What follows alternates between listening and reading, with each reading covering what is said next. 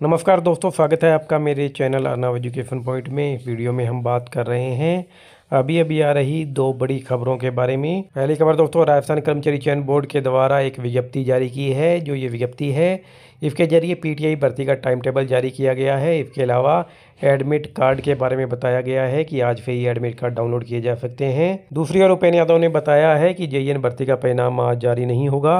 अगर कल भी परिणाम जारी नहीं होता है तो फिर अगले वीक में ही परिणाम जारी हो पाएगा।